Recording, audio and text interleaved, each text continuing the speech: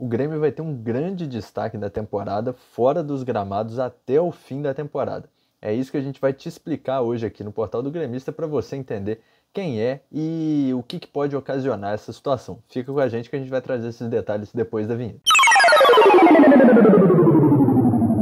Bom, como a gente falou, o Grêmio vai ter um grande cara do lado de fora dos gramados até o final da temporada.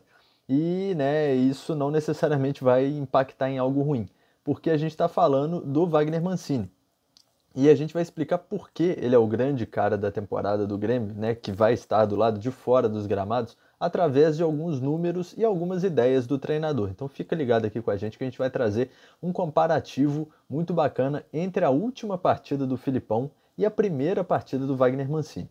Bom, o último jogo efetivamente do Filipão antes de ser demitido foi contra o Santos, né, na Vila Belmiro, a derrota que acabou decretando a saída do Luiz Felipe Scolari né, em mais uma passagem pelo Grêmio. Né, os números dessa partida, né, além da derrota, né, uma derrota dolorida, né, com um gol no final da partida, os números foram um pouco assustadores e contrastam muito com os números do Mancini. A gente vai trazer eles para você agora. Então fica ligado aqui que os números são o seguinte: contra o Santos, o Grêmio teve 40% da posse de bola, 3 chutes, 319 passes, com 75% de precisão nos passes. Foram 25 faltas cometidas e 5 cartões amarelos. Num jogo que teve como contexto o Grêmio com uma perda total de controle de jogo e controle da posse, né? São duas coisas diferentes. O Grêmio não conseguiu ter a posse de bola e o Santos ocupou o tempo inteiro o campo de ataque, mesmo sendo Fábio Carilli, o técnico do Santos, que é um técnico que também costuma jogar de maneira reativa. Então, o Grêmio foi mal na partida, não conseguiu controlar o jogo e muito desesperado, ficava muito exposto. Né? Essas 25 faltas não necessariamente são um problema, mas né, é, desencadeando em cinco amarelos, a gente vê que são faltas realmente para parar de jogadas, né? as faltas de, de exposição de jogo.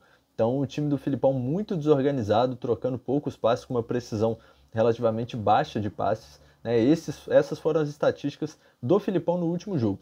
Agora a gente vai trazer as estatísticas do Wagner Mancini na partida contra o Juventude, na vitória por 3 a 2 só o primeiro jogo, ainda com ajustes a serem feitos.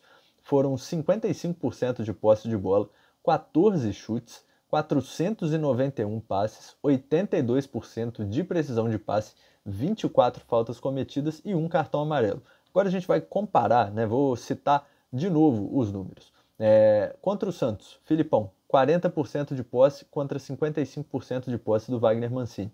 3 chutes contra 14. 319 contra 491 passes. 75% de precisão contra 82% de precisão. 25 faltas cometidas, 24 faltas cometidas, 5 amarelos, 1 amarelo. O número de faltas é o mais semelhante, mas né, o número de amarelos indica realmente um time muito exposto contra o Santos e foi o que a gente viu. E o Mancini, a gente sabe muito bem que assumiu né, na fogueira. Chegou em um dia, deu um treino em outro, já foi fazer a sua primeira partida num, num contexto de, de, muita turbulência ali. E já teve esses números, né? Conseguiu o Mancini trazer um jogo é, de, muito, de muito mais associação e aproximação dos jogadores para que o jogo coletivo do Grêmio fluísse melhor. E isso em muito pouco tempo. Por isso, a primeira partida do Mancini foi tão promissora por todo esse contexto, né, ser um, um período muito curto né, de, de trabalho e esse, resultado, né, se a gente comparar a última partida do Filipão, que já estava aí é, há vários jogos no comando do clube, e o Mancini na sua primeira partida, né, é extremamente relevante. E aí, se a gente falar, ah, mas a situação do Juventude era pior, Juventude é um time pior. Não, o Santos era o time em pior situação na tabela e com rendimento abaixo do rendimento do Juventude no recorte dos últimos jogos antes de enfrentar o Grêmio. Então, por isso essa vitória do Mancini foi tão relevante e indica sim que ele vai ser um grande cara para o Grêmio até o final da temporada, né? No banco de reservas, o grande destaque do Grêmio, né? E a gente vai acompanhar isso aqui no portal do Grêmio, se vai ser isso mesmo, mas a tendência é que seja o Wagner Mancini. Afinal, ele é o último técnico do Grêmio na temporada. O Grêmio não deve mais fazer nenhuma troca de treinador.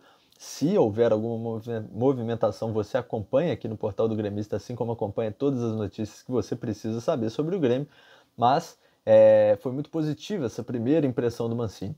Agora eu quero a sua opinião. Você concorda com isso? discorda, é, acha que o Mancini vai ser esse cara mesmo ou que esse jogo contra o Juventude acabou sendo um ponto fora da curva. De qualquer forma, agora é o momento de apoiar. O Grêmio precisa da ajuda do torcedor, da gente, é, apoiando o clube para que o time saia dessa situação. E você vai acompanhar os próximos jogos, né? O próximo jogo que é contra o Atlético Goianiense, né? Depois que esse vídeo está sendo gravado e todos os próximos jogos nas jornadas esportivas aqui do Portal do Gremista, né? Com o pré-jogo, com o jogo, com comentários e narração em tempo real e também o pós-jogo. Então você se inscreva aqui no Portal do Gremista, né? Ativa o sininho para receber todas as notificações.